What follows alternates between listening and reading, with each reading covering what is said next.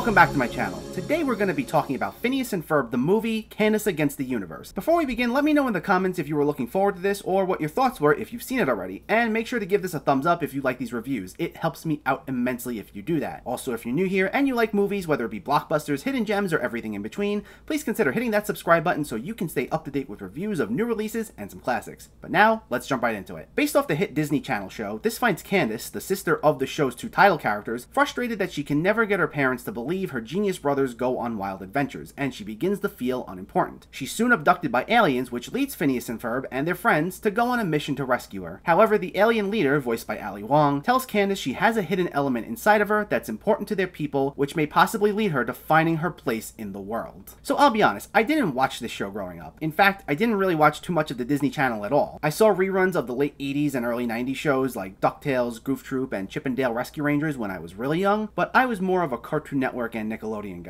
I was well out of the age range when Phineas and Ferb was on the air, and I'll be honest, at the time, I wrote it off as just another kid show, so this wasn't anything I was eagerly anticipating. But with the movie coming out, I decided to give the show a shot, and discovered it is in fact not just another kid show. As of this video, I'm not done with it yet, but I watched a fair amount of episodes so I'd have a decent grasp on the characters and the jokes going into it, and I'm glad I did because so far I've enjoyed the show and I've enjoyed the movie. And I can safely say, while it's a standalone movie and each episode of the show is standalone, you definitely need to have a decent sense of what the show is in order to appreciate this. If you're looking into starting Phineas and Ferb, don't start with this movie. You can in theory get away with it, especially because there's a fun opening musical number that kind of establishes most of what you need to know, but not everything, and this does kind of rely on your enjoyment of the show to fully understand who some of these characters are. But it's really fun, and it's one of those movies we really needed right now. It's an upbeat, bright, positive movie that doesn't want to beat you down or tell you nothing other than the world sucks. Actually, for the most part, it's very feel good, very funny, and lighthearted, with very catchy songs that just had me moving to the beat at times. Not to say that it doesn't get deep or there's no character development by any means, I'd say this actually goes way deeper than the show has, at least from what I've seen. The show is pretty much a standard setup of Phineas and Ferb want to do something, Candace tries to bust them, then you have Perry the Platypus and Dr. Doofenshmirtz in a subplot battling it out, then they ruin Phineas and Ferb's inventions, and Candace is left frustrated when her parents don't believe her. This actually explores a little more of the dynamic between Candace, Phineas, and Ferb. In fact, this is really Candace's movie more than anything. She's not just part of the shtick as she is in the show, and her characterization was done well. It was very sweet, and she really just wants to find meaning in her life, which we see here is partially what fuels her somewhat combative relationship with her brothers, and it makes her very relatable. And Phineas and Ferb's characterization was also done really well, actually. I like how they realized Candace may not feel appreciated all the time, and we see that they always have cared about her, especially since they're never antagonistic towards her the way she is towards them. They legitimately care about her and don't hesitate for a second to start up this rescue mission and are persistent with bringing her back. As I mentioned, in the show, Doofenshmirtz and Perry the Platypus are usually part of the B storyline, but this time we actually see Doofenshmirtz teaming up with Phineas and Ferb and their friends to help them out, and Perry is along for the ride and helping them as well, but in secret. And this was where the movie was at its most fun. I was laughing so much at the conversations between Doofenshmirtz and these kids. They make fun of his ridiculous inventions, and he's so petty that he constantly engages in heated arguments with them over the tiniest things, especially their one friend Isabella. That was a lot of fun. The humor in general worked really well. There were jokes here and there that weren't laugh out loud hilarious, but for the most part, I just had this giant smile on my face. There's especially this one running gag where there's a certain difficult word the characters are trying to pronounce, and Phineas and Ferb will say it five times fast, and whenever another character sees them do it, their reactions would just be great. And this would also get extremely meta at times, more than the show ever did from what I've seen. It's not often, but there are gags such as characters specifically referencing scene transitions, among other things that worked really well. As for criticisms, the alien storyline works for the most part, and I liked Ali Wong's voice work, but it takes a very predictable turn in the third act, and it's probably the most uninspired part of the movie. It's not bad, but you'll have this sense in the back of your head of where you think this is going to go, and sure enough, it goes there. So it kind of backtracks a bit. For the first two acts, it's usually going bigger and bolder, but the final act, while it does a good job with Candace, Phineas, and Ferb's characterizations, the direction they go in just plays it a bit too safe. The final few minutes are great, it didn't end on a disappointing note, it's just easily the weakest part of the movie.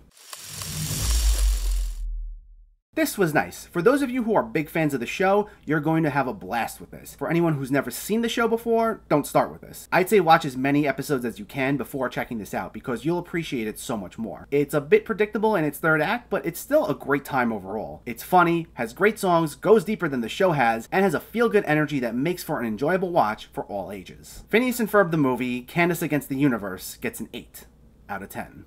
So let me know, have you seen Phineas and Ferb the movie, or are you planning to see it, and what were your thoughts? Are you a big fan of the show, and did it live up to your expectations? Let me know in the comments below. If you enjoyed this video, please like it and share it, and for more movie reviews and film discussion, please make sure to hit that subscribe button to stay updated. Thanks for watching, everyone. I'll catch you next time.